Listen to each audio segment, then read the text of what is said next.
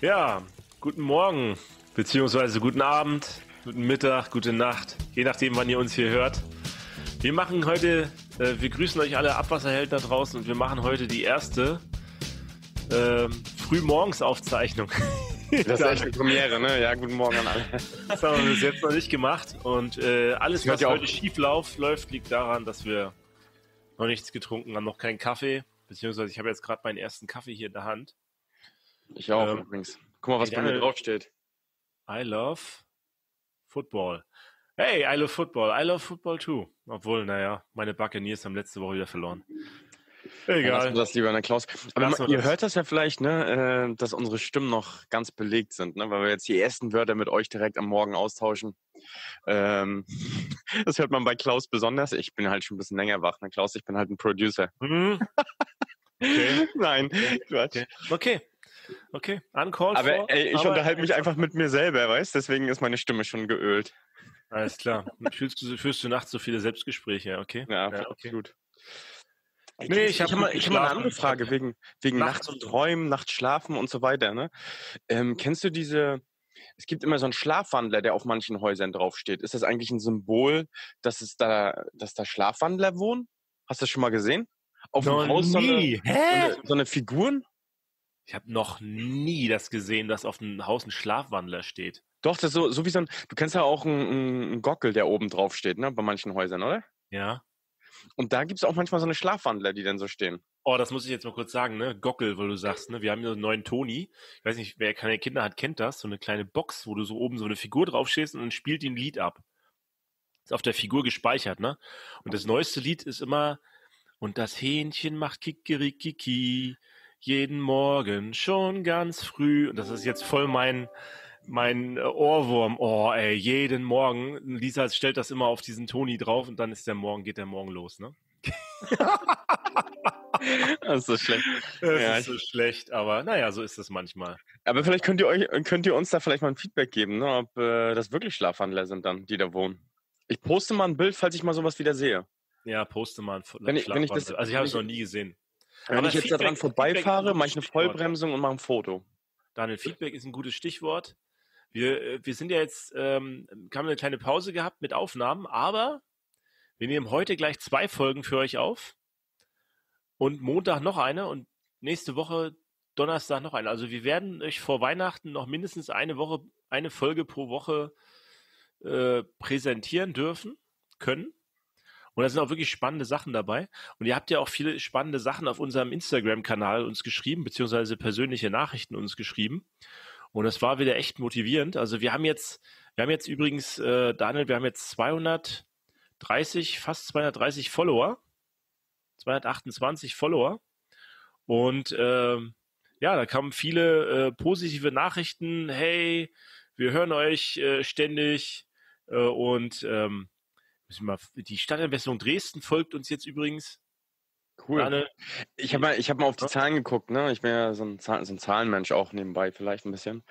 Und ähm, unsere Zuhörer, also wir wachsen, ne? Wir sind jetzt mittlerweile ungefähr bei 130, 140 Zuhörern pro Woche. Das ist echt schon also uns überrascht das immer mehr, ne? auch wenn das natürlich irgendwie ein Randbereich, ein Themenbereich ist, der nicht so populär ist wie die ganzen gängigen Podcasts wie gemischtes Hack oder sowas. Da werden wir auch nie hinkommen. Das ist auch nicht unser Ziel. Aber wir sind schon stolz darauf, ne? mit uns oder mit der Community äh, zu wachsen, ne? auch gerade hier in diesem Bereich und da auch junge Leute, auch ältere Leute. Ja, Dann okay. liest du was vor. Äh, pass auf, ein, einer hat uns geschrieben, der, der es jetzt ist, der wird es wissen, hat geschrieben, hey, Danke, habe mich durch euch noch einmal mehr animiert geführt, doch was zum Thema Social Media zu machen. Bin Hörer erster Stunde und habe es leider durch Meisterschule und andere Dinge vernachlässigt. Höre gerade alle Folgen nach. Perfekt neben der Arbeit bei der Schlammerentwässerung oder daheim auf der Baustelle. Wahrscheinlich baut er gerade auch ein junger Kerl, keine Ahnung. Ähm, ich lese mal nicht weiter, aber wer, ähm, wer jetzt äh, das weiß, du bist der Hörer, du weißt, wer du bist, hat mich gefreut. Es hat uns solche Sachen animieren uns, wenn ihr uns mal schreibt, äh, was euch gefällt, aber auch was euch nicht gefällt, äh, was man anders machen kann. Also an euch Abfallerhelden da draußen, schöne Grüße. Ja, und ähm, deswegen machen wir heute weiter. Lassen wir wieder vorangehen und für euch wieder producen. Ne? Auf jeden Fall. Äh, was immer ganz wichtig ist, guck mal, wir sind heiß, ne? man merkt das richtig, oder Klaus? Ey, wenn man morgens aufnimmt, ne, ist man noch ganz anders, noch mehr motiviert, ne, als schon am Nachmittag, oder?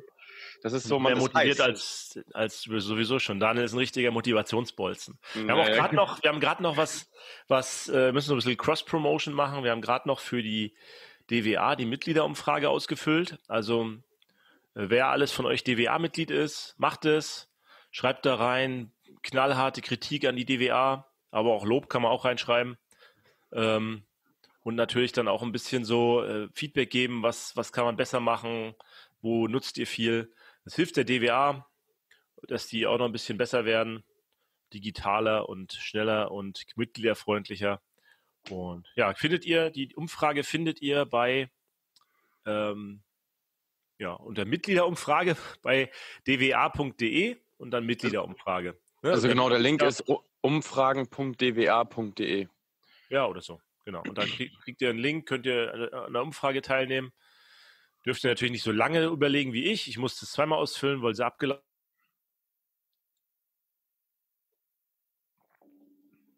Jetzt ist von Klaus das Internet weg. Jetzt ein Standbild, jetzt ist er wieder da. Ah, ich war kurz weg, okay. Ja. Also du musstest ja. sie zweimal ausfüllen, danach bist du stehen geblieben. Genau, so wie jetzt auch mein Internet kurz. Ja, erzähl das doch alles nochmal zweimal. ja, ja, nee, lieber nicht. Ähm, also hilft, äh, füllt das mal mit aus. Und ja, dann können wir auch heute mal zum Thema kommen. Daniel, was haben wir heute für ein Thema? Erzähl mal. Ähm, ja, wir begrüßen gleich einen Gast. Der kommt mit dazu. Der ist auch ein Frühaufsteher, so wie es scheint. Ne? Das ist der Deckelkalle, richtig? Genau. Also ich hatte ja vorhin schon gesagt, die Stadtentwässerung Dresden folgt uns.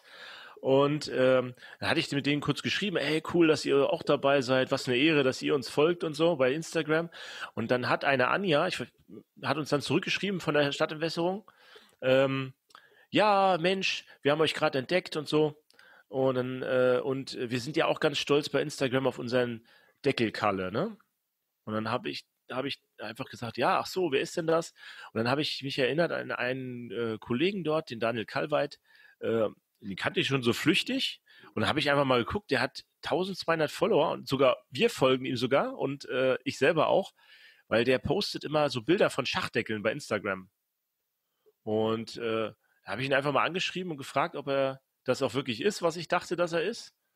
Und ob er nicht mehr bei uns auftreten will und, uns über Schachdeckel sprechen will. Ja, das machen wir heute dann jetzt. Cool. Ähm, allgemein so, äh, Klaus, vielleicht kannst du mal erzählen, hatten wir schon das Thema, äh, also was, was haben wir eigentlich jetzt in der Kategorie Abwasser einfach geklärt? Schacht? Schacht, das unbekannte Wesen. Ich fand die Überschrift, die habe ich mal irgendwo gelesen, die fand ich irgendwie beeindruckend. Ne? Also ich glaube, der normale Bürger, ne, der weiß ja gar nicht, der sagt ja Gully erstmal dazu. Da habe ich erstmal bei Wikipedia geguckt, was Gully Ey, es überhaupt... Gibt so viele, es gibt so viele Wörter dafür. Ne? Das, das Komischste ist in, in in äh, Bremen, da heißen diese Straßenabläufe Rostenkasten. Ne? Rostenkasten? Mhm. Auf jeden Fall habe ich Gully mal gegoogelt und habe dann einfach bei Wikipedia reingeschaut. Ich sage euch mal die drei Einträge, die da stehen. Gully.com, Internetportal, keine Ahnung, was das ist. Gully, es gibt ein Gully als Ort, Dorf in der Republik Dagestan, Russland. Also Grüße raus nach Gully.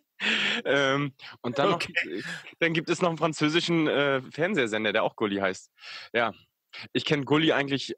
Das erste Mal, als ich mit Gully konfrontiert wurde, war das Gullivers Reisen, aber das ist wahrscheinlich was anderes. Mhm. Ähm. Naja, okay. Äh, Daniel, brechen wir das ab und holen wir unseren Gast dazu, oder? Na klar. Ja, also jetzt haben wir unseren, unseren Gast äh, für heute dabei. Äh, ich hatte ja schon erzählt, äh, Deckelkalle haben wir uns eingeladen und haben dann erstmal rausgefunden, wer das ist. Äh, und zwar ist das der Daniel Kallweit von der Dresdner Stadtentwässerung.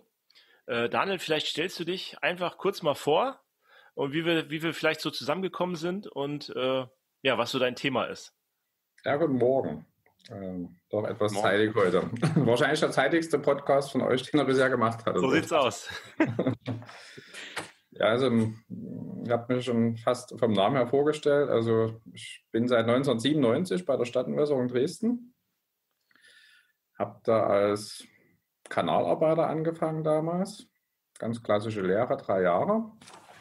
Und bin dann ähm, über einige Jahre im Netz, in, in, in der Netztätigkeit dann äh, an immer höhere Aufgaben rangeführt worden und habe mich dann irgendwann mal auch entschlossen, dass das nicht das Ende der Fahnenstange ist, sondern dass ich mich nochmal auf die Schulbank setze zum Studium. Dann nochmal Wasserfern- Entsorgungstechnik studiert und bin dann seit 2006 als Bauleiter wieder eingestellt worden bei der Stadtentwässerung. Mache so ganz klassische Kanalbaumaßnahmen, Straßentiefbaumaßnahmen, das ganz klassische Tagesgeschäft und wie gesagt, mein Streckenpferd, was sich so ein bisschen herauskristallisiert hat, ist so die, die Schachtdeckelsanierung im Haupt- und Bundesstraßenbereich im gesamten Stadtgebiet. Mhm. Das heißt, äh, ja, Daniel? Aber mal eine Frage, ne? Wie alt bist du jetzt eigentlich? Weil du, also du wirkst jetzt nicht so, als wenn du schon Ende 30 bist. Also müsstest ja jetzt nach der Historie Ende 30 sein. Du wirkst ja, weiß ich nicht, wie, du wirkst ja jünger als ich und Klaus, ne? Entweder weil du das früh aufstehen gewohnt bist. Erzähl doch mal, wie alt du bist vielleicht. Ich habe jetzt ganz frisch eine Vier davor stehen. Ach, wirklich? Ja, meinen herzlichsten Glückwunsch noch. Das ist ja okay. krass. Ja, sorry. Ich, du, ich sehe so aus, aber ich bin noch nicht 40, aber.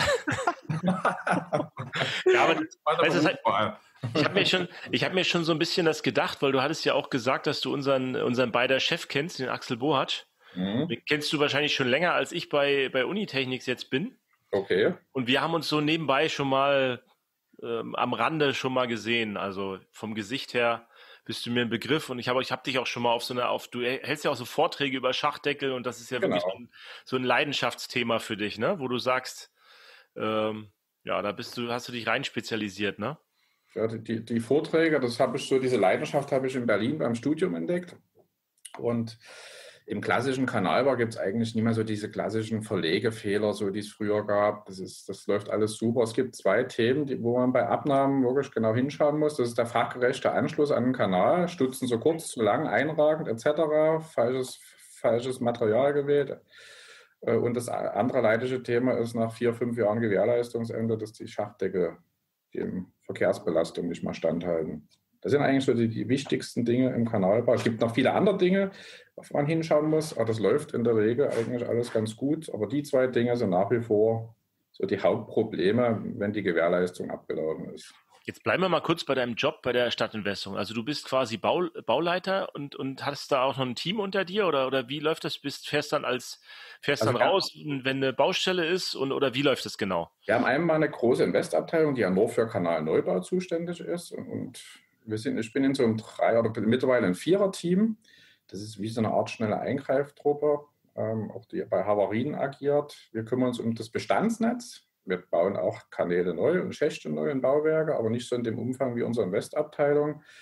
Ähm, wir kümmern uns, also zum Beispiel, wenn irgendwo ein Deckschichtwechsel ist, dann tun wir ja nicht jedes Mal unseren Kanal neu bauen, sondern dann müssen die Bauwerke angepasst werden. Da sind kleine Reparaturen durchzuführen, Stützen, mal eine Haltung auszuwechseln ähm, oder mal eine Endstreckenverlängerung, zwei, drei Haltungen neu zu bauen. Das ist so unser Tagesgeschäft. Okay, und da fährst du dann raus und, und äh, überwachst, dass die das richtig machen und sagst, keine Abnahme, ohne dass jemand von der Stadtentwässerung das gesehen hat? Oder wie, wie läuft, muss man sich das vorstellen? Oder? Ich klinge mich da ganz zeitig schon mit ein. Also gerade beim Deckschichtwechsel ist es so, ähm, dass ja da durch den Asphaltaufbruch die Schachtdeckel mit beschädigt werden. Das machen die ja nicht mit der Pinzette, sondern mit schweren Aufbruchgerät. Und ganz viele Städte ist so, dass da einfach neu asphaltiert wird. In Dresden läuft das ein bisschen strenger ab. Und da schaue ich mir vor dem Straßenbau, öffne ich den Schacht, tue mir den ganzen Schacht erstmal anschauen, messe, hole mir alle Maße, die ich brauche. Dann setze ich mich mit dem Planer in Verbindung, hole mir die künftigen Deckelhöhen und dann fange ich an, das Bauwerk an die neue Höhe anzupassen oder umzubauen. Das heißt, es werden neue Schachtringe eingebaut oder, oder komplett der Konus runter, neuer Konus drauf? Genau. Oder, wir, haben, wir haben eines der ältesten Netze mit von Deutschland und die, das sind viele Schächte, die nicht den heutigen Normen entsprechen. Die sind alle noch tiptop vom Zustand her. Wenn sie nicht tiptop sind, dann werden sie erneuert. Aber diese historischen Maße mit den heutigen Bauteilen anzupassen, ist manchmal eine ganz schöne Herausforderung. Und nochmal zu unserem Team. Wir sind so ein Vier-Mann-Team. Der eine ist für die Liner-Sanierung zuständig, der andere für die offene Bauweise am Kanal. Mein Spezialgebiet sind wirklich die Schächte, Sonderbauwerke. Und dann haben wir noch einen vierten Kollegen für die Anschlusskanäle. Mhm, okay. Also es hört man ja immer wieder, dass, äh, dass das Probleme macht im, im ähm, Kanalbau, wenn man da nicht richtig drauf achtet, äh, ja, was man da gebaut bekommt äh, und seine Baufirmen dort nicht äh, an der, an der, äh, also wirklich auch äh, nah bei sich hat sozusagen und keine Fachleute dort hat, dass man dann, also ich kenne zum Beispiel bei Schachdeckeln das so dieses äh, ich bin ja viel in Bayern und Baden-Württemberg unterwegs. Ich weiß nicht, wie das in, das in kleineren Gemeinden, da hat man halt nicht so jemanden wie dich, der es überwacht. Und dann, mhm. dann habe ich nur gehört äh, immer, dass man zum Beispiel diese Regulierung von Schachdeckeln, da, also es wird ja dann gebaut, das Bauwerk, ne? Und dann wird der Schachdeckel auf irgendwie, also wird die neue Straßendecke drauf gemacht, Deckschichtwechsel hast du das gerade genannt. dann muss ja die, der Schachdeckel auf die Straßenebene angehoben werden oder, oder gesenkt werden, ne? Und da wird dann oft so, werden so oft so Keile untergelegt und dann, äh, ja, dann macht man den Schachdeckel dann auf und dann legen die immer noch drin, dieses Provisorium. Also das sehe ich ganz oft. So, mhm. Da sprichst du gerade ein ganz, ganz heikles Thema an, das mit diesen Holzkeilen. Es gibt auch Fliesenstückchen, Betonkrümel, Kieselsteine. Ich habe da auch schon Fahrradschläuche und was weiß ich nicht. Also ich habe alles gesehen, mit was man eine Schachtabdeckung auf Höhe bringen kann. Aber gerade wegen den Holzkeilen äh, hat man schon die Staatsanwaltschaft im Büro. Das heißt, weil was passiert dann, wenn jetzt da ein Holzkeil benutzt wird oder was ist daran schlimm? Das ist so die alte Generation, die das so bis in den 90er Jahren noch betrieben hat. Ähm, und die haben das nie anders gelernt. Ich habe mir auch mal die, die Mühe gemacht, mal in den Ausbildungsstätten, den Ausbildungen über die Schuhe, äh, über die Schulter zu schauen. Ähm, bei den Tiefbauern, bei den Pflasterern. Äh, und bin ich mal hin zu den Ausbildern, da haben die gerade eine Schachtabdeckung gesetzt unter schön drumherum gepflastert, absolut top. Und dann habe ich gesagt, mach mal bitte den Deckel auf. Und der war natürlich nur in Sand eingedreht. Bin ich dann zu dem Ausbilder hin, wo eigentlich alle Straßenbauer hier in der Region durchlaufen. Also, wenn du die nur in Sand eindreht, so lernen die das nie. Ja, das kostet uns jedes Mal 80, 90 Euro, hier so einen Deckel neu zu besorgen. Das können wir nicht machen, aber mhm. das, das funktioniert nicht so. Ne? Bei euch laufen alle durch. Das muss, es gibt nirgendwo in Deutschland dieses Thema bei einer Ausbildung, dass der Schacht wie der, wie der Schachtdeckel fachgerecht gesetzt wird. Gibt es keinen Beruf. Nehmen wir beim Tiefbau ist das mit dabei. Das ist ja krass. Das ist ja vielleicht, eigentlich. Dann vielleicht kannst du einmal für die jüngeren Zuhörer, die vielleicht nicht wissen, wie so ein Schachtdeckel gesetzt wird, einfach mal erklären, wie das, wie das vonstatten geht. Wenn, man muss, man muss das noch ein bisschen weiterspinnen. Äh, ich würde das sogar eher, dass man erstmal, für was für einen Anwendungsfall wählt man die Schachtabdeckung aus. Es gibt ja Hersteller, die haben in einem Katalog 300, 400 Schachtabdeckungen im Sortiment. Was wählt man da aus, für welchen Anwendungsfall? Das ist so ähnlich wie der, wie der Schuh. Äh, wenn ich jetzt, wenn ich jetzt, äh, Daniel hat tausend Schuhe zu Hause vielleicht im Schrank. Ich weiß ja nicht, ob er so Schuhliebling ist. Aber es ist so ähnlich wie, das ist ja das Einzige, was der Bürger wirklich sieht von unserem Kanal, ne? Das also ist, ja wirklich so. Oder? Das hast du ganz gut erkannt. Ähm, jeder hat ja auf seinem Arbeitsweg irgendwo so eine Tretmine liegen, die ihn schon seit Jahren stört, wo er durchholpert oder nachts nicht schlafen kann, weil es Lärmgeräusche verursacht. Ähm, das ist das, was der Bürger sieht. Mehr sieht er nicht vom Kanal nicht. Und wenn das einen schlechten Eindruck macht, dann wirft das auch eine schlechte Sicht auf das ganze Unternehmen. Hm. Das ist tatsächlich so. Das ist, ist ein Stück weit Öffentlichkeitsarbeit, was du da betreibst, ne? Wahrscheinlich, ja. Ich habe übrigens deinen, deinen Chef mal angesprochen, ob er Deckelkalle kennt. Nur jetzt so zwischendurch, weil du so Öffentlichkeitsarbeit sagst, ne? Die Anja von euch, die kann, ich weiß nicht, ob du jetzt rausgefunden hast, wer Anja ist. Schöne Grüße an Anja, wenn ja, du uns hörst. Danken, dass mein Wecker um vier äh, äh, kurz, kurz, nach vier geklingelt hat. Hast du dich hoffentlich bedankt bei ihr und nicht geschimpft? Ja, auch ausgiebig.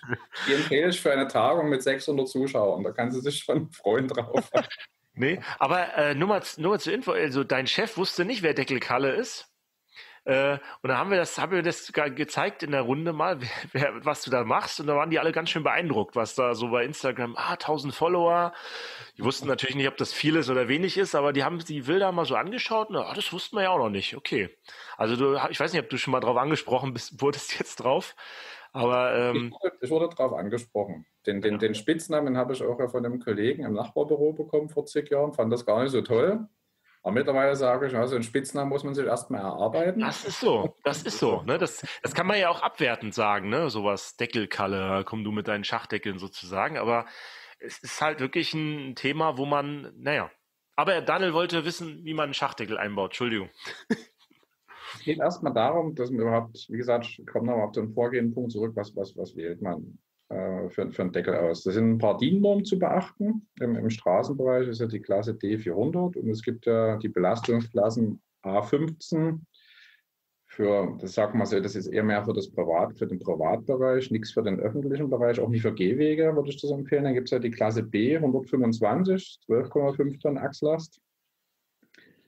Danach kommt die Klasse, ja, ich glaube, das ist die C250. Das ist mehr so für, für geringe äh, neben Bordstein. Und dann kommen wir schon zu der Klasse D400, die uns heute beschäftigt.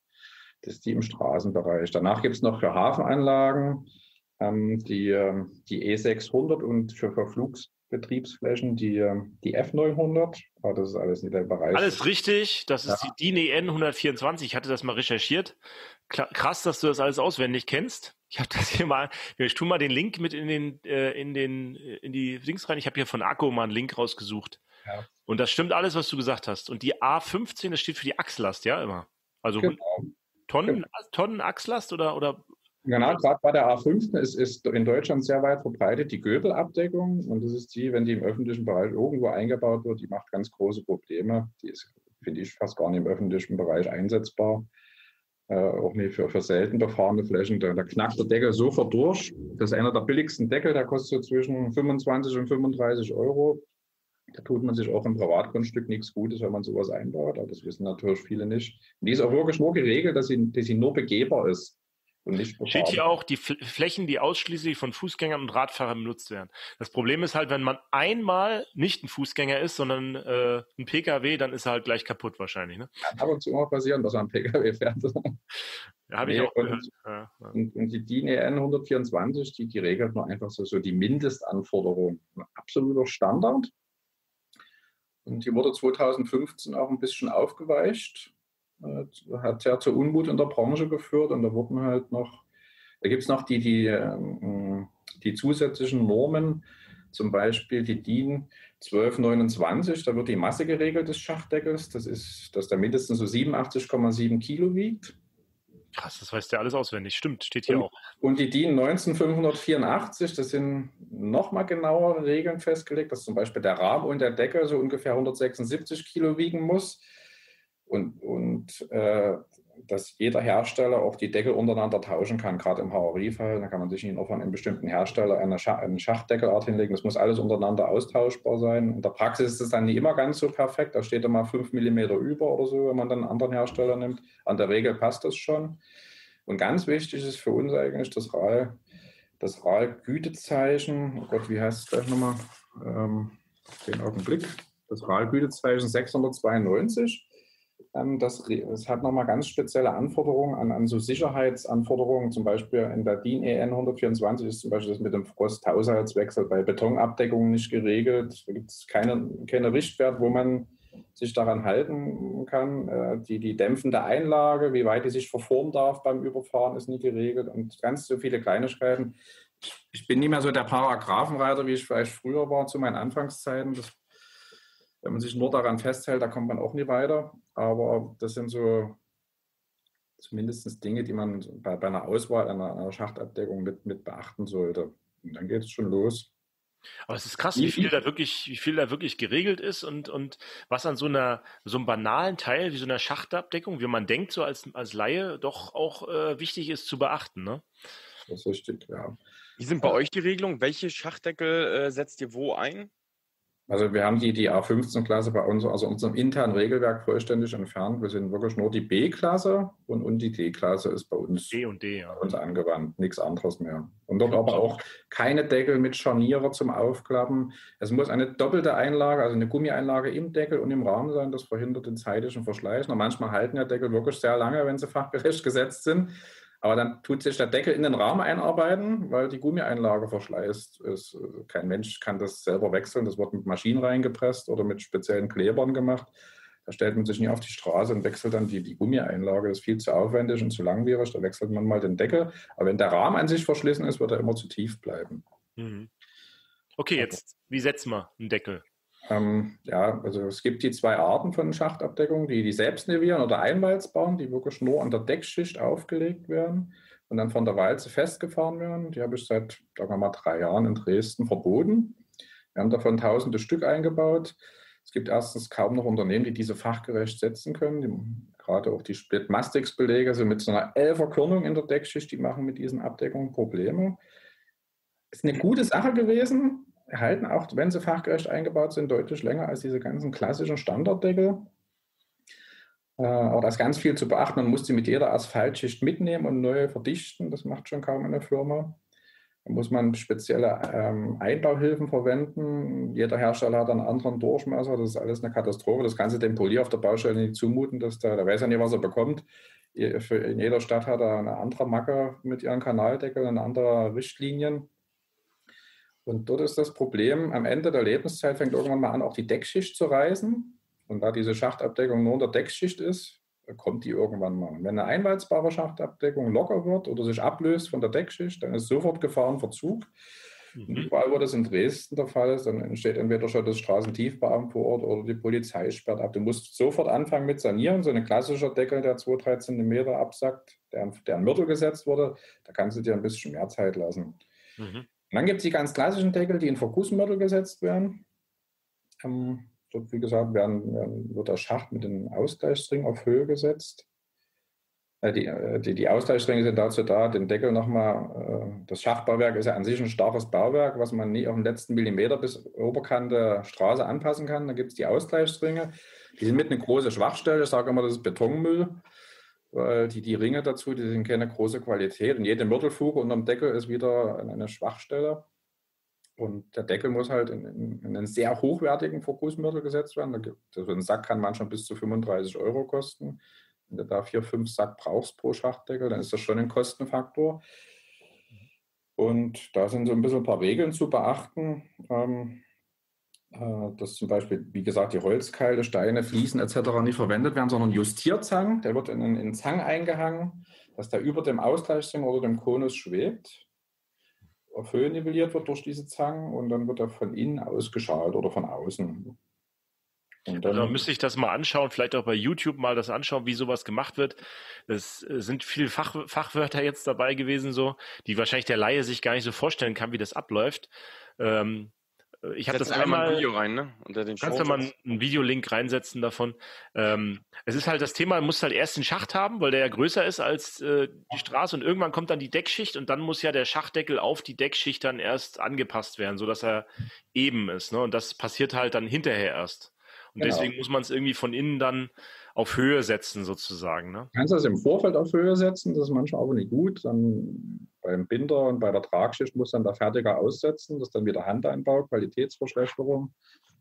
Oder du kannst dann zum Schluss ziehen. Aber ich sage immer, alles, was ziehbar ist, senkt sich auch wieder ab. Also, wie, wie ist das denn bei euch? Macht ihr das vorher genau auf die Höhe und dann kommt die Deckschicht oder wie, wie läuft das in Dresden? Oder? Es ist verschieden, je nachdem, was, welche Asphaltschicht erneuert wird, so wird der Deckel gesetzt. In der Regel bei uns bei Schachtabdeckung wird alles im Vorfeld gesetzt, nach dem Einbau der Binder- und Tragschicht. Dann steht die so vier Zentimeter noch aus dem Asphalt raus und dann kommt die Decke drüber. Okay. Und dann, das kann man dann so genau machen mit der, mit der Asphaltdecke, dass es genau abschließt, sozusagen. Genau. Also der Fertiger krabbelt dann so drüber, verdichtet das, das ist, da, da passiert nichts, da bleibt er auch nie hängen oder so, das, das passiert ganz, ganz fachgerecht. Ja. Ist sowieso ein spezielles Völkchen, die Schwarzdeckenfahrer. Äh, wir waren ja mit den Produkten, die es so auf dem deutschen Markt gibt, überhaupt nicht zufrieden. Weder mit den einwalzbaren Schachtabdeckungen noch mit diesen Standard D400 Abdeckungen, die überall in Deutschland millionenfach verbaut sind. Und ich habe relativ schnell erkannt, dann ab 2006, als ich das Thema betreut habe, dass uns die Deckel hier in Dresden um die Ohren fliegen. Und egal in welche Stadt ich komme, mich begrüßt nie als erstes die Sehenswürdigkeit der Stadt, sondern irgendwo ein zu tiefer Kanaldeckel. Also, das, das, kann nicht sein. Irgendwas ist ja vom Konstruktionsprinzip schon verkehrt von diesen Schachtdeckeln. Ne? Das sind ja, die sind ja aus den so 70er Jahren wurden die so langsam entwickelt, die Norm und diese, diese Deckel, die man heute überall in den Straßen sieht. Das finde ich, mein Bauchgefühl hat mir gesagt, das ist ein Konstruktionsfehler. Das sind also solche zylindrischen Rahmen, glatt, und wunderbar im Asphaltbau nach oben zu ziehen und zu untergießen. Aber so eine Vergussmörtelfuge hält auch nicht ewig. Generell die Mörtelfugen, keimgerechte Mörtel ist auch nicht zugelassen. Wenn man das macht, dann hält sie niemand die Gewährleistung stand. Ich habe mir irgendwann gedacht, wir haben viele historische Schachtdeckel, über 100 Jahre alte, die wir nie in der Sanierung unterziehen mussten. Davon, wir haben ungefähr 45.000 Schächte in Dresden, öffentliche. Davon sind ungefähr noch 10.000 mit diesen historischen, über 100 Jahre alten Schachtdeckeln ausgestattet. Wie gesagt, mir fiel dann auf, egal was für eine Verkehrsbelastung in der Straße liegt, die Dinger, die sacken nicht nach unten weg. Irgendwann habe ich mich, mir dann mal die Originalbaupläne von diesen Schachtabdeckungen besorgt. Ich Habe gesagt, warum bauen wir nicht einfach solche Schachtabdeckungen nach? Ja, das ist ja, das Nonplusultra, musst du nie sanieren. Wenn sie eingebaut sind, sind sie eingebaut und halten definitiv bis zum nächsten Straßenbau locker 20, 25 Jahre durch. Und diese Schachtabdeckung ja schon seit über 100 Jahren. Ja, warum hat man das nicht gemacht? Ich meine, kurz vielleicht einzuschieben, man sieht ja vielleicht äh, auch im Hintergrund bei dir stehen im Regal, ne? Wenn man ja. so rechts über deinen Kopf wegguckt auf dem Bild, Daniel, das du da gemacht hast, das ist ja goldener Kanaldeckel, der bei dir steht. Du bist ja. dafür auch ähm, äh, mit deinem Kollegen dafür ausgezeichnet worden, für diese äh, Überlegungen sozusagen. Mhm. Äh, und äh, ihr habt quasi dann wirklich das gemacht, oder? Einen eigenen Kanaldeckel entwickelt? Also unser, unser, unsere Vorgesetzten haben, haben, geben uns ja wirklich diesen Spielraum, da auch mal, mal abseits vom Tagesgeschäft mit, mit Themen sich zu beschäftigen, die einen vielleicht voranbringen. Da bin ich auch ganz dankbar. Das ist ja nicht überall so. Und wir haben dann 2009, 2010 angefangen, einfach ähm, die Maße uns zu überlegen, wie muss so ein Deckel aussehen. Das muss ungefähr so ähnlich sein wie die historischen Deckel. Aber die kann man nie auf die heutigen Schachbauteile setzen. Es gibt ja die Konusöffnung, also die Einstiegsöffnung mit 625 mm oder 800 mm. Mhm. Und äh, der historische Deckel ist wie so ein Kegel gebaut. Das heißt, hat einen, einen schiefen Rahmen und einen sehr breiten Flansch unten, so wie so ein L-Rahmen, bloß, bloß ja, wie, so ein, wie so ein Kegel gemacht. Und das, das bewirkt einen sehr hohen Anpressdruck vom Asphalt. Ja, wenn wir von den 600er Öffnungen konisch nach oben gegangen wären, da wären die Deckel so klein geworden, dass wir nicht mehr hätten einsteigen können. Das wollten wir natürlich nicht. Also haben wir uns dann entschieden für die 800er Konen, für die 800er Einstiegsöffnung. Wenn man dann von da aus konisch nach oben geht, hat man einen ganz klassischen 600er Deckel, wie man ihn heutzutage auch vorfindet. Und im unteren Bereich ist er 800 und das gibt ja die Schräge vor. Wir haben dann noch zusätzlich acht Bolzen äh, mit hinzugefügt, um den Deckel auf Höhe zu bringen. Wir dachten erst, oh, die Straßenbauer, Asphaltbauer, das sind ja nur keine Feinmechaniker, das geht nach hinten los. Aber siehe da, das war genau das, äh, die Erfolgsgeschichte, was das, äh, was das verstärkt hat, äh, warum der Deckel in Dresden so beliebt ist. Weil dann kann der Polier oder der, Straßenbauer den wunderbar auf die Höhe schrauben und diese Schrauben werden mit eingeschaltet in den Mörtel und entlasten die Mörtelfuge sozusagen. Und mhm. wir bauen jetzt seit 2011 ein, haben ungefähr so, so 1000. Eisen im, im Stahlbeton, oder? So wie das wie Ähnlich, genau, Stahlbeton. Hm? Das die ganze Mörtelfuge wird durch diese acht Edelstahlbolzen entlastet und wir haben jetzt 1500 Stück eingebaut, werden bei uns ganz streng auch generell alle Deckel nach vier, fünf Jahren angeschaut, nochmal geöffnet, die Fugen werden ausgeleuchtet etc. und untersucht. Und wir haben noch nie einen einzigen Schadensfall gehabt an diesen Deckeln, also überall, wo die verbaut sind. Ja, da, da, haben wir das, lösen wir uns von dieser Problematik der ständigen Deckelsanierung. Früher mussten wir alle sechs, acht oder zehn Jahre die Deckel sanieren. Wir haben im Jahr 600.000 Euro nur für die Deckelsanierung ausgegeben in Dresden. Völliger Irrsinn. So geht es aber jeder Stadt.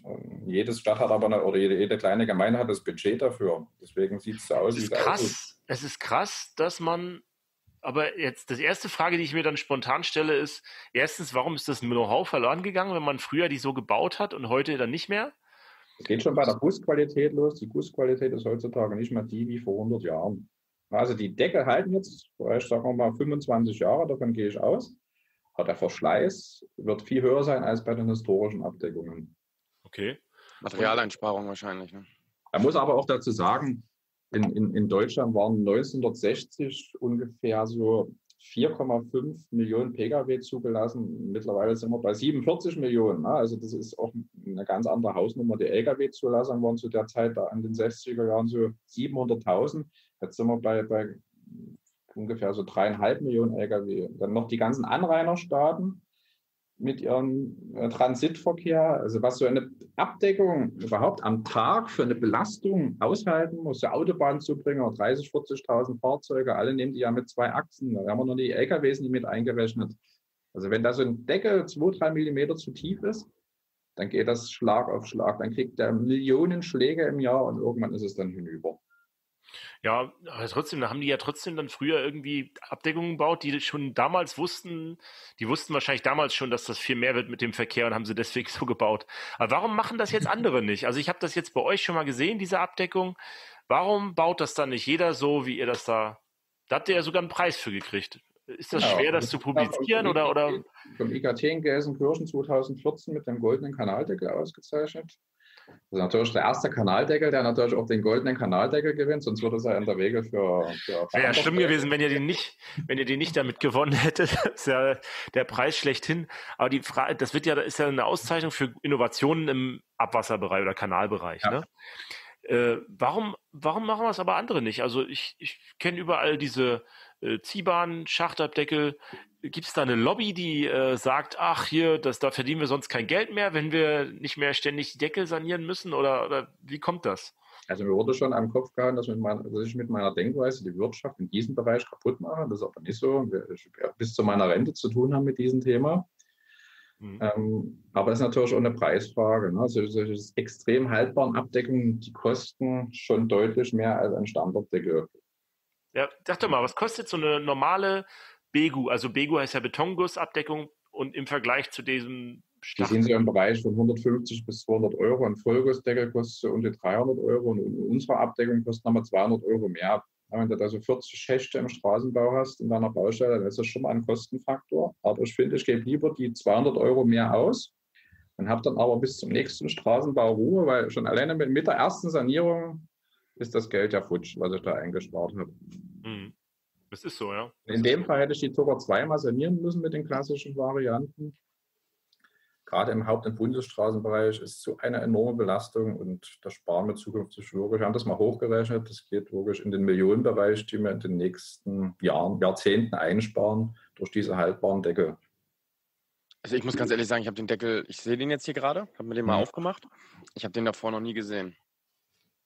Der ist auch relativ unbekannt noch in Deutschland. Wir empfehlen den auch keinen. Also auch, auch, auch auf Messen oder sowas und ich bin häufig auf Messen, also vor Corona natürlich oder allgemein auch bei Betreibern und so. Ich habe das echt noch nie gesehen.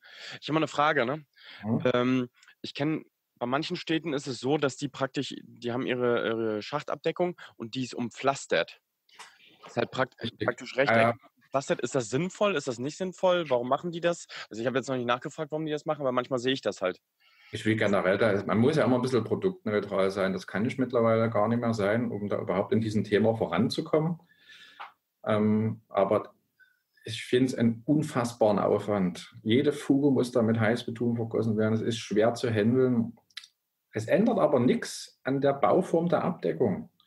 Die kann trotzdem nach unten wegsacken, auch wenn ich diesen Bereich um den Deckel mit solchen Steinen auslege, was ich erstmal optisch in der Straße jetzt nicht schön finde. Für die nachträgliche Sanierung ist das vielleicht in gewissen Gemeinden okay, aber ich finde es auch, äh, ich find, das ist nicht billig, das System. Aber der Deckel an sich ist trotzdem noch zylindrisch und kann nach unten wegpfeifen. Da habe ich vielleicht keine Schäden im Umfeld der Abdeckung, aber das System an sich ist das gleiche. Eigentlich. Aber du hast, du hast, du hast Warum machen die das jetzt, damit die das einfacher reparieren können, falls er mal absackt? Oder? Ja, weil die, die, die Asphaltbereich um den Schachtdeckel, der bricht ja auch häufig aus. Es hat auch Gründe, weil genau da der Fertiger ausgesetzt hat oder man Handeinbau gemacht hat. Das heißt, der Asphalt ist nicht mit der Verdichtung eingebaut worden, wie, wie, wie, wie es eigentlich gefordert wird. Und dann fangen Anfang an, so rumzuschustern, sich da irgendwas zu überlegen, irgendwelche Steine. es hat alles seine Berechtigung. Mag auch sein, dass das in einem oder anderen Fall hält, aber es ist nie so, dass für die Ewigkeit. Wir wollen für die Ewigkeit bauen. Und wie gesagt, wir hatten so einen Fall schon, einen schlimmen Schadensfall in Dresden. Und das hat uns alle nochmal wachgerüttelt. Ist zum Glück gut gegangen. Aber sowas wollen wir nie wieder erleben. Mhm. Um es nochmal um auf den Holzkeil zu, zu, sprechen zu kommen, das, das, Thema hat man ja ganz vor uns aus den Augen verloren. Wenn man einen Holzkeil unter einer Abdeckung einmüttelt oder die, mit, die, die Abdeckung mit einem Holzkeil auf Höhe bringt, irgendwann saugt er sich mit Wasser voll. Das heißt Volumenvergrößerung. Der Rahmen wird an sich locker. Das ist nicht der Deckel, der am Rahmen klappert, sondern der ganze Rahmen kriegt ein Spiel.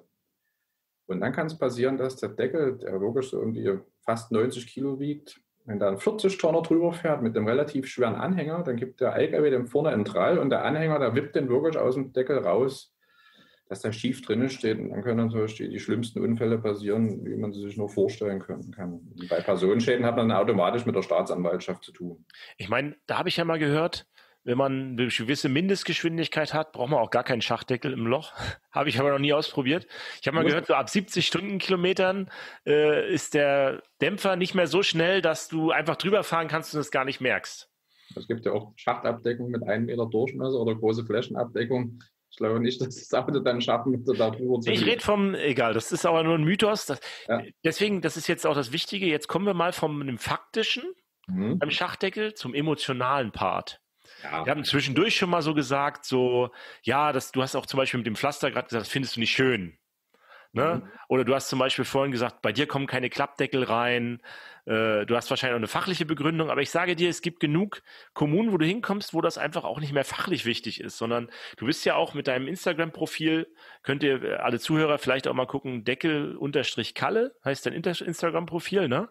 Ja. Und da geht es ja auch nicht wirklich um das Fachliche am Schachdeckel, sondern um das Design, äh, um auch die Emotion an dem Ganzen. Ne? Also ihr habt ja auch viele Schachdeckel bei euch, wo euer Logo drin ist. Das ja. ist quasi euer Aushängeschild. Ne? Wie wollt ihr vom Bürger wahrgenommen werden?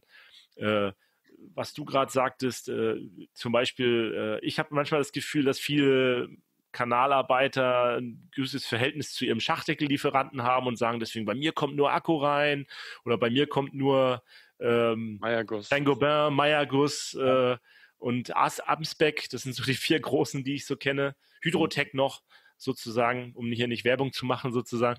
Und das habe ich manchmal auch so das Gefühl, dass es da auch nicht so sehr um die fachlichen, sondern auch um das, um das Emotionale am Schachdeckel geht. Wie ist das bei dir so? Die Bürgerische Region, da ist wirklich nur der eine Hersteller.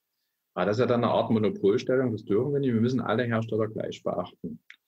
Ist natürlich unser Deckel, der wird dann nur von einem Hersteller hergestellt, das ist ein bisschen schwierig, aber es gibt auch nichts Vergleichbares auf dem Markt, was da jetzt irgendwie, also es gibt schon jemanden, der den in etwa nachgebaut hat, ja, da gab es schnell schon eine Kopie, aber das ist jetzt nicht die Qualität, äh, wie wir, wie bei dem einen Hersteller, wo wir das herstellen lassen.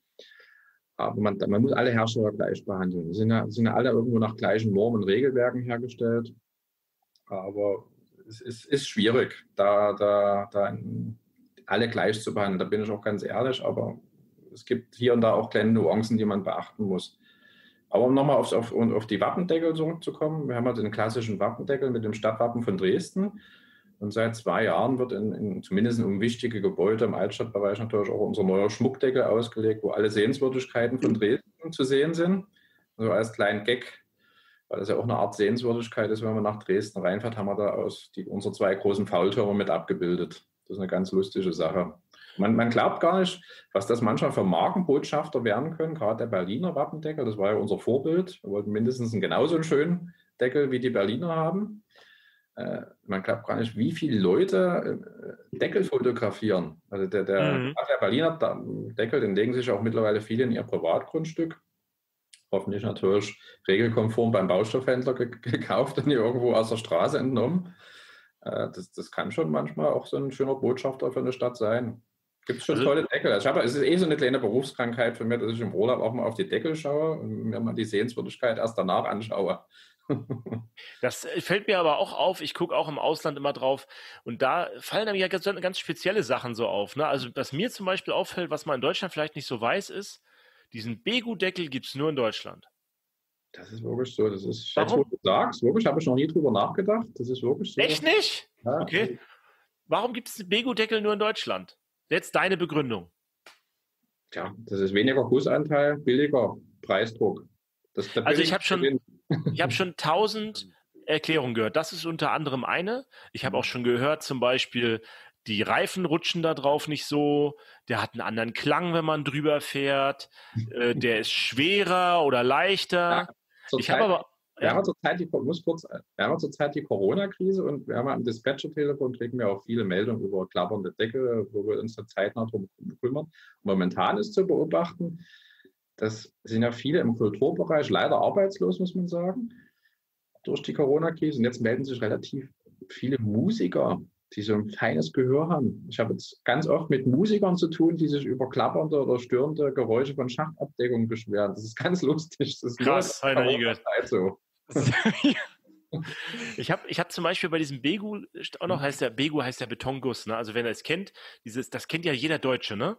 Man hat ja. 16 Löcher, genau. die sollen genau 150 äh, im, im, im, wie so ein 150er Rohr zum Schachdeckel belüften. Ne? Ja, ja, ja, Ungefähr 160 sind es. Dass du das weißt. Ja, wir wissen das ja, weil wir ja beruflich damit zu tun haben, weil wir diese Belüft, diese Schachdeckel-Einsätze, äh, dass da kein Wasser reinläuft haben. Da ist es immer wichtig, dass man die Belüftung durchsetzt. So, und jetzt, jetzt äh, habe ich zum Beispiel mal die Begründung gehört, Adolf hatte im, im Zweiten Weltkrieg kein Stahl mehr und deswegen hat man da Beton ausgegossen, um das noch hinzukriegen. Nee, nicht ganz. Äh, das ist schon teilweise in 30er, 40er Jahren gemacht worden, da hast du recht. Aber diese Deckel hatten dann eine Holzfüllung mit Eichenholz in, in Teer eingeschlemmt. Die gibt es teilweise noch ungefähr zehn Stück in Dresden. Die halten immer noch. Wir haben auch ein paar ausgebaut, die wir ins Museum genommen haben. Also es gibt wirklich Deckel, die haben eine Holzfüllung und die halten seit 100 Jahren durch den, den, im, im, Verkehr. das ist unfassbar. Krass. Also das, das war einfach die Materialeinsperrung, die brauchten den Guss für die Rüstung, für, für Kriegsmaschinerie etc. Ne, und das sind so, das sind so verrückte Stories, die man dann hört. Aber mir konnte noch niemand wirklich die Historie so erklären, äh, warum haben wir Betongussdeckel und die anderen nicht. Das ist logisch der Preis. Sind die sind deutlich billiger, weil einfach Beton ist billiger Werkstoff und ja, das ist, das ist, das ist der Hauptgrund. Gibt's keinen Warum machen die das im Ausland nicht? Tja, keine Frage. Ist dir schon mal aufgefallen, dass im Ausland kaum Deckel mit Lüftungsöffnen zu sehen sind? Das wäre das nächste, was ich gesagt habe. Naja, klar fällt uns das auf. Wir sind ja für Geruch bei Unitechnics. Ist ja unser Hauptthema, also Daniel und ich. Mhm. Und äh, das gibt es im Ausland nicht. Da habe ich mal eine ganz äh, interessante Geschichte. Da waren aus Israel bei uns am IFAD. Also IFAD ist ja diese Leitmesse von, saß jemand aus Israel, zwei Leute und einer aus Deutschland. Und dann haben wir uns auf Englisch unterhalten und dann hatte der aus, hatten wir so uns über Lüftungsöffnungen, Schachtabdeckung und da hat er aus Israel erzählt, nee, wir haben ja keine Lüftungsöffnung, da würde es ja rausstinken, das, das gibt es in Israel überhaupt nicht. Nee, nee, die sind alle geschlossen. Und dann ist der Deutsche auf einmal so total geschockt, wie? Ihr habt keine Lüftungsöffnung im Ausland? Hä? Das ist ja total verrückt, dann stinkt's ja überall so. Und weißt du, so total andere Einstellung dazu. Und äh, ja, wir kennen das halt beigebracht, man braucht Belüftung, damit es nicht stinkt. Und die im ja. Ausland sagen, ja, wir können doch keine Belüftung machen, sonst stinkt es doch. Also das ist total. Ja, also ich tue mich immer wundern, gerade ist, ist, ist die ganzen Mitteleuropa äh, am Mittelmeer, die Länder, die haben ja überhaupt keine Lüftungsöffnung drin. Und das herrschen ja Temperaturen von 40, 45 Grad im Sommer. Dann im, im Winter tat ja auch der, der Schmutzwassenschachtdeckel, der friert ja nicht zu, weil da eine gewisse Hitze im Schacht ist. Ich will gar nicht wissen, wie diese Schächte aussehen, wenn man die öffnet. Also, schlimm, schlimm. Müssen ja Kanalbegehungen, Inspektionen durchgeführt werden. Wenn du dann nie eine Belüftung hast, du kommst ja um in dem Kanal da unten. Und dann muss ja alles auch korrodiert sein. Also keine Ahnung, was für ein Zustand die Netze sind. Wahrscheinlich macht sich da keiner Gedanken. Ich bin also, ein Fan von geschlossenen Abdeckungen. Ich war da schon mal in Spanien dazu. Es sieht wirklich an manchen Stellen schlimm aus, aber in den Innenstädten ist es eigentlich gar nicht so schlimm. Wahrscheinlich. Das Feuchtigkeit macht gar nicht so viel aus, aber es gibt Bereiche äh, da, wo Wasser länger steht und so äh, mhm. in Spanien, wo das schlimm ist. Was die Spanier halt nicht so viel machen, ist das Wasser durch die Gegend zu pumpen. Da gibt es nicht so viele Druckleitungen, die haben nur Erhöhungsstationen. Das bauen die von vornherein gar nicht so oft, also Druckleitungen, so weiter, was wir hier viel haben in Deutschland. Ja, dafür gibt es ja dann den Biofilter, den wir dann bevorzugt. Also, bevor wir einen geschlossenen Deckel einlegen, tun wir natürlich einen Biofilter einbauen, weil dann immer noch ein bisschen die Belüftung gewährleistet ist vielleicht nicht mehr so 100 Prozent. Könnt ihr dazu als Experten was sagen, wieso die Belüftung ist von dem Schacht mit so einem Biofilter, der Durchsatz? So, äh, ja, wir können dazu was sagen, aber die Belüftung ist natürlich eingeschränkt. Es gibt ja, ja Tests auch vom IKT, wo du diesen hm. goldenen Kanaldeckel, das ist ja ein Zubehör, den man anstatt von so einem Schmutzfänger da drunter setzt. Und die äh, Restentlüftung ist vielleicht noch 50 Prozent. Man hat so einen Trade-off. Ne? Umso mehr du filterst, umso eher hast du natürlich äh, einen Filterwiderstand und äh, ja, so viel Luftsprung. Aber, aber es ist noch die Gelüft, also es ist nicht so, dass der Schacht so schwitzt durch den Filter, ist immer so mein Bauchgefühl. Es ist, es ist äh, an vielen Stellen hilft das besser, als einen verschlossenen Deckel draufzubauen, ja. Obwohl ja. die auch nicht ganz dicht werden, ne? Also eine, also eine mineralische Beschichtung oder Kunststoffauskleidung von so einem Schacht dann, wenn das dann mal alles hinüberkorrodiert ist, die ist nie ohne vom, vom Preis her. Da ist, hat man nichts gewonnen, wenn man einen geschlossenen Deckel einbaut. Hm. Also das ist auf jeden Fall was, was viele Kommunen nutzen, da so eine äh, Schachtfilter reinzusetzen. Ihr habt ja auch ein paar im Einsatz wahrscheinlich gerade, wo das mal hier an der Frauenkirche, bei euch ist das ja auch manchmal ein Problem, dann Fettabscheider und so weiter. Aber im ländlichen, also im ländlichen Raum ist es auf jeden Fall so, dass die Schächte immer nur noch korrosionsbeständig saniert werden. Ne? Ja. Und es nützt ja auch nichts, gerade wir haben ja nur einen, 70-prozentigen Anteil vom Mischwassernetz in Dresden, der Rest ist ja ein Trennsystem, Regen und Schmutz. Äh, dann nützt es auch nichts, wenn man da einen geschlossenen Deckel einbaut, dann riecht es links und rechts zu den Straßeneinläufen raus. Das bringt ja dann auch null Punkte. Ja, wie ist denn das? Wie lange machst du jetzt eigentlich schon deinen Instagram-Kanal? Um da vielleicht nochmal drauf zu kommen. Ähm, wir haben ja jetzt viel fachlich und so gesprochen. Du bist ja quasi da auch äh, schon unterwegs. Wir ja. machen das ja erst seit wir jetzt einem Jahr. Äh, wir haben 226, 228 Follower jetzt schon, die uns da irgendwie folgen äh, und äh, angucken, was wir da so posten. Ja. Du hast ja quasi über 1000 schon. Was können wir von dir lernen? was können wir von dir lernen? Und äh, du machst ja jeden Tag, postest du, glaube ich, einen neuen Schachdeckel, ne? Oder wie kommst du zu deinen Inhalten? Also ich mache das jetzt seit anderthalb Jahren und ich bin selber überrascht, was das für eine Resonanz hat und was ich da so verrückte Sachen überhaupt schon entdeckt habe, die schon meinen Horizont erweitert haben. Also ich habe das, das ist ein Hobby von mir. Ich hätte nie gedacht, dass ich mal ansatzweise mehr als 50 oder 100 Leute dafür interessieren. Mittlerweile gehe ich jetzt langsam auf die 1800 zu ich mache da gar nichts viel dafür. Also ich, ich, ich also die 80 Prozent der Deckel, die ich da hochgeladen habe, ich habe einfach nur eine Plattform gesucht, wo ich meine ganze Sammlung mal zeigen kann oder für, für mich mal äh, in Erinnerung holen kann, weil im Computer verschwindet sie. Und ich habe dann mhm. nicht für Instagram entschieden, um da die Deckel einfach hochzuladen. Also dass das so eine Resonanz hat, hätte ich nie im Leben erwartet.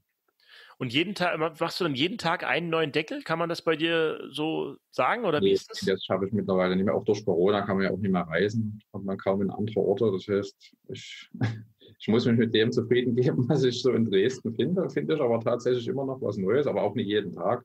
Was ich jeden Tag mache, ist, dass ich mir von einem anderen Profil, ich bin ja nie alleine mit diesem Hobby, das musste ich mir auch erst mal lernen. Ich dachte, ich bin da ein Exot, aber es gibt da schon eine ganze Menge weltweit, die dasselbe Hobby haben gerade in Japan, Wahnsinn, was da abgeht. Also die ganze Bevölkerung äh, gefühlt tut da die Deckel fotografieren, die da auch wunderschön aussehen. Also irgendwann Aber in Japan sind die richtig so mit Mosaiken ausgelegt, die Schachdeckel, habe ich gesehen, ne? Voll farbig gestaltet, aber nicht nur um wichtige Gebäude, sondern flächendeckend sieht das da so toll aus. Die haben mhm. teilweise ihre Stadtgeschichte damit nachgeschrieben. Nee, ich, ich tue vielleicht so einmal in der Woche oder alle zwei Wochen mal einen Deckel hochladen, den ich für gut befinde.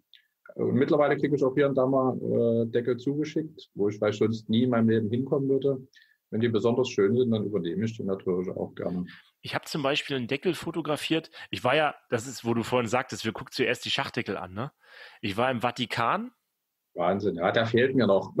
Den schicke ich dir zu. Den habe ich, den habe ich, äh, ich kenne den Herrn Behrendt von der Stadt Erfurt, der sammelt übrigens auch Schachdeckel, ne? Und dem schicke ich immer welche zu, wenn ich welche habe. Aber mache ich jetzt bei dir auch. Und dann war ich im Vatikan. Mittig von oben und ohne Füße.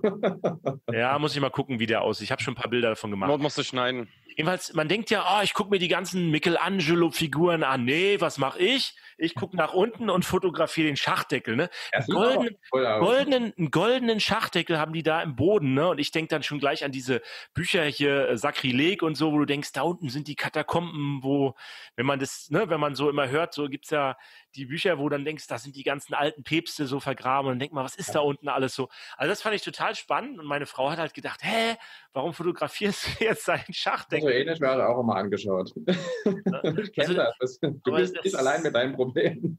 so und äh, müssen wir jetzt hier mal einen Aufruf noch starten für deine Instagram-Seite. Also follow, also alle Zuhörer, Deckelkalle followen, ne? Und wenn ihr einen geilen Schachdeckel seht, äh, an den Daniel schicken immer rüberschicken? Irgendwie, weiß nicht, wie man dir das schicken wirklich kann. Wunder, wunderschöne Schachtel. Hast du, hast du da eine, eine, Adresse drin, wo man dir die hinschicken kann?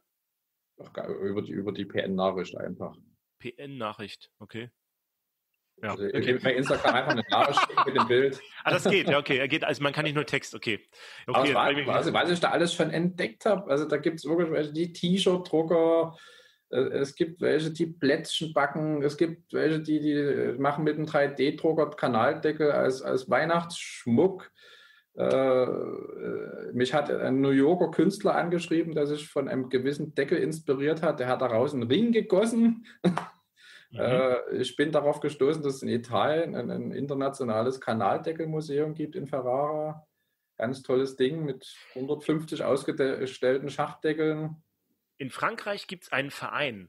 Ja. Ich weiß nicht, ob du den kennst. Mhm. Der ist der, der nennt sich, ähm, oh, wie heißt der jetzt genau? Dololog, der Verein der Dolologen. Okay. Dolo. Also wenn, wenn man einen Kanaldeckel fotografiert, gehört man ja zu den Trainspottern. ah, okay. Ähm, jetzt muss ich mal gucken. Verein Dolologie heißt der. Und zwar okay. www.lupi.ch, L-U-P-I, .ch musst du mal eingeben mhm. oder müsst ihr mal gucken. Und das ist ein Verein aus der Schweiz. Äh, und der hat sich das Wort erfunden, Dolologie. Die Dolo, Dole, Kanaldole ja. äh, und Logie halt die Wissenschaft von der Kanaldeckel. Und der ist ein Verein und die kümmern sich so um Öffentlichkeitsarbeit in der Schweiz und verschiedene Sachen und machen da auch so Führungen. Und das mhm. fand ich eigentlich ganz interessant, dass es da sogar ein Verein geht, wo man dann sich als Dolologe mit anmelden kann und so weiter.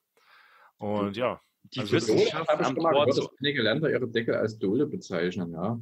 Mhm. Die Wissenschaft am Tor zur Unterwelt. Ja, genau. Das ist auch so.